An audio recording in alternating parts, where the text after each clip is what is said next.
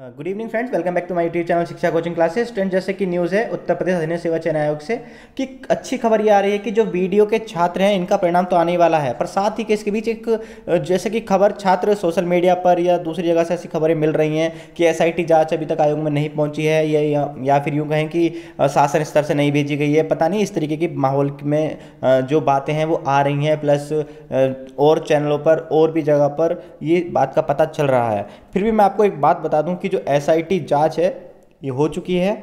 इसका प्रॉपर जो शेड्यूल है, जो कानूनी कार्रवाई है, उसके आधार पर ही इसका रिज़ल्ट दिया जाएगा। तो आपको थोड़ा सा तो ये समझना पड़ेगा, देखो कि अफवाहें चलती रहती हैं सोशल मीडिया पर इधर उधर ये सारी चीज़ें मिलती रहती हैं देखने को। फ़िलहाल खबर अच्छी ये है कि आपकी एस आई जाँच हो चुकी है और जो शासन स्तर पर जो खबर है, इसकी वो हो चुकी है शासन स्तर पर भी। तो आपको घबराने वाली कोई बात नहीं है। अगर मार्च लास्ट तक नहीं आता है तो अप्रैल में आपका रिज़ल्ट सौ प्रतिशत आ जाएगा। आप कहेंगे कि मैम, अप्रैल मैंने डेट एक्सटेंड क्यों कर दी? देखिए, काम इस पर चल रहा है और इसका हो सकता है, मैंने बोला भी था कि बीस मार्च तक आसपास आपको इसका नोटिफिकेशन नोटिफिकेशन देखने को मिल जाएगा। फिर भी मैं ये कहना चाह रहा हूँ, अगर कोई ऐसा कोई डिले है, कोई ऑफिशियली अगर कोई बात ऐसी किसी को पता चली भी है तो ज़्यादा डिले नहीं होगा।